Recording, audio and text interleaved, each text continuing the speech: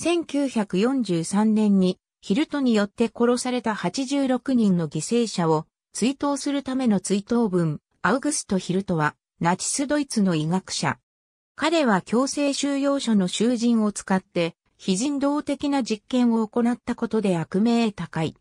親衛隊隊員でもあり、親衛隊での最終階級は親衛隊少佐。ドイツ帝国マンハイムにスイス人実業家の息子として生まれる。第一次世界大戦にはドイツ帝国陸軍に従軍し、二級鉄十字章の叙勲を受けた。戦後、ハイデルベルク大学医学部へ入学し、医学を学んだ。1921年にドイツ国籍取得。1922年に博士号取得。ハイデルベルク大学の解剖研究所に勤め、やがて解剖学の権威となった。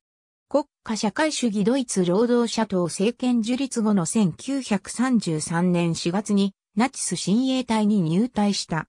親衛隊内では1942年3月にカール・ボルフ親衛隊大将が長官を務める親衛隊全国指導者個人幕僚部の配属となり、1944年に親衛隊少佐まで昇進している。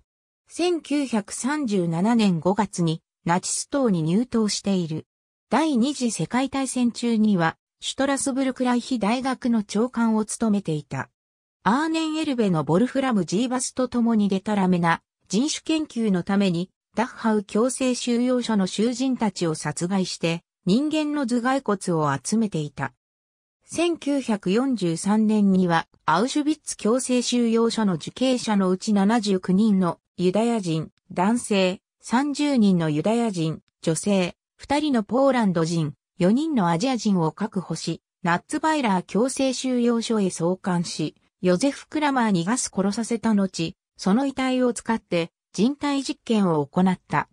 アジア人はソ連兵捕虜から確保したと思われ、彼らはメスカリンの毒としての影響を調べるための人体実験にも使用された。ドイツの敗戦後に逃亡先のシュバルツバルトで自殺した。ありがとうございます。